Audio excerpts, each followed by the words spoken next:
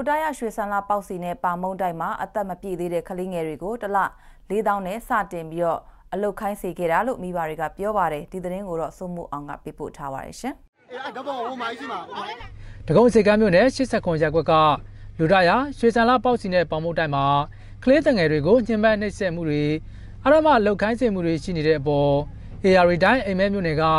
မိဘတွေကိုယ်တိုင်ကလေးငယ်တွေကိုလာရောက်ခေါ်ယူဖို့ကြိုးစားနေပါတယ်။ ပေါင်မုတ်တိုင်းမှာအလုပ်လုပ်ဖို့အသက်15နှစ်အရွယ်သမီးဖြစ်သူကိုတစ်လ4000ကျပ်နဲ့တစ်နှစ်1000တိုးမဲ့ဆိုတာကြောင့်စေလွတ်ခဲ့တာလို့မတ်တီရီကိုရဲ့ဖခင်ဖြစ်သူကဆိုပါတယ်။ကလေးငယ်တွေကိုညှဉ်းပန်းနှိပ်စက်တယ်ဆိုတဲ့သတင်းတွေကြောင့်နေရက်ကိုပြန်ခေါ်ဖို့လုပ်ပြီးမဲ့လက်တလောအဆက်အသွယ်မရသေးဘူးလို့လည်းအိမ်မဲမြို့နယ်ကဖခင်ဖြစ်သူကပြောပါတယ်ဆက်ဆက်ချင်းဝင်တော့က၄တောင်းတနည်းပြည့်တော့၅တောင်းအခု၃နှစ်ပြည့်တော့၆တောင်းပေါ့တနည်းတစ်တောင်းပဲတိုးတယ် အာဆိုရင်တော့သမီးသမီးဆိုတော့ဆိုရင်တော့ဟုတ်တယ်ဆိုရင်တော့မင်းကလေးဆိုတော့လည်းဘယ်လိုအကြောင်းမျိုးဖြစ်ဖြစ်ဆိုဆိုရင်ရတာပေါ့တကယ်ဆိုရင်လည်း။လူဒရာရွှေစံလာပေါက်စီနဲ့ပေါင်မိုးတိုက်မှာ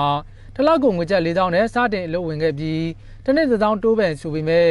တိုးပေးတာရှိမရှိအခုထိမသိရသေးဘူးလို့လည်းအိမ်မဲမြို့နယ်ကျောင်းစုကျေးရွာက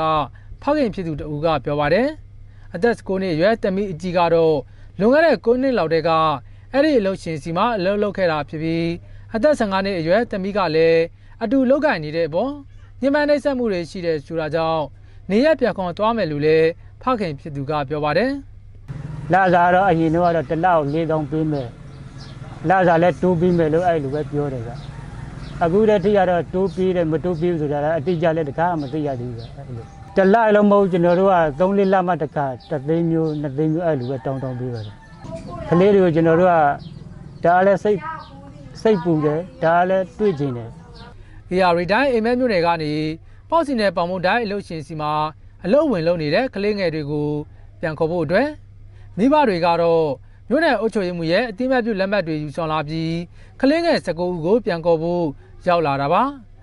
ဒီမိုတိုင်းမှာအသက်10နှစ်အရွယ်တဦး10နှစ်အရွယ်တဦး15နှစ်အရွယ်တဦးနဲ့အသက်20အရွယ်တဦးအလုပ်လုပ်ကင်နေတဲ့အပေါ်မိခင်ဖြစ်သူကတော့ကလေးတွေနှိပ်စက်ခံရတာကြောင့်တနာလို့အင်ကိုပြန်ခေါ်ကျင်တယ်လို့ဆိုပါတယ်။ခေါ်ပွားသူတို့နဲ့တကားမမြင်ရဘူးဒီမှာလာနေတာကြားလာပြီတကားပေးမတွေ့ဘူးတကားတလေကတော့တလနလအဲ့လိုမျိုးပေးတွေ့တယ်အဲ့လိုပဲ အဲ့လိုမျိုးကတောမှနေတော့တလကိုခလေးရ3ယောက်တလသသိန်းပေးတယ်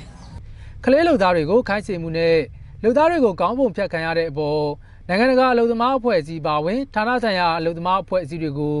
ဖြည့်ရှင်းပေးဖို့တိုင်ကြားစာပေးပို့ထားတယ်လို့လည်း CTUM ရွှေပြောင်းအလုံသမားဌာနကပြောပါတယ်တက်ဆိုင်ရာဝန်ကြီးဌာနအနေနဲ့ဘယ်လိုကူညီဆောင်ရွက်ပေးလို့ရမလဲတက်ဆိုင်ရာအားလိုအနေနဲ့ဘယ်လိုကူညီဆောင်ရွက်ပေးလို့ရမလဲဟိုတချို့ အိမ်မဲမျိုးနယ်ကနေပြီးတော့အုပ်ချုပ်ရေးမှုရဲ့ဟိုအုပ်ချုပ်ရေးမှုရုံးကနေပြီးတော့အတည်ပြုချက်ရဟို12နှစ်73နှစ်အလုပ်သမားတွေဟိုမှာမနေ့ကဆိုလို့ရှိရင်သူတို့ပို့လိုက်တဲ့ထက်မှဆိုလို့ရှိရင်9ယောက်လောက်ပါနေတယ်အသက်မပြည့်သေးတဲ့အလုပ်သမားတွေကိုခိုင်းစေမှုအတွက်လည်းဘယ်လိုတွေကူညီဆောင်ရွက်ပြီးတော့ဘယ်လိုတွေအရေးမှုပိုင်းတွေလုပ်မလဲဆိုတာလည်းတက်ဆိုင်ရာအစီအစဉ်နဲ့ပူးပေါင်းပြီးတော့ဆောင်ရွက်တော်ဖို့ရှိနေပါတယ်။အဲဒီမုတ်တိုင်းမှာအလုပ်လုပ်နေတဲ့လူသားတွေတဲကအသက်40လောက်ကနေအသက်10နှစ်အထိရှိတဲ့သူ18ဦးကိုရတပ်ဘက်ကခေါ်ယူထိန်သိမ်းထားပါတယ်။ လုပ်ငန်းရှင်တို့ဦးကိုတော့ရတပ်ဘက်ကနေနာကျင်စေမှုပုံမှ323နဲ့ဆဲဆုံမှုပုံမှ294နဲ့အမှုဖွင့်ထားသလိုစီမံသားရေးကော်မတီကလည်းစီမံဥပဒေပုံမှ323နဲ့အရေးယူထားတယ်လို့ပြောပါတယ်။အဲဒီအလုပ်ယုံကိုလူစုလူဝင်နဲ့လာရောက်ဖျက်ဆီးခဲ့တာတွေလည်းရှိခဲ့ပြီးစက်ယုံကကားတွေစက်ပစ္စည်းတွေလည်းဖျက်ဆီးဆုံးရှုံးတာတွေရှိခဲ့ပါတယ်ကျွန်တော်ကဇုံမှုအောင်ပါ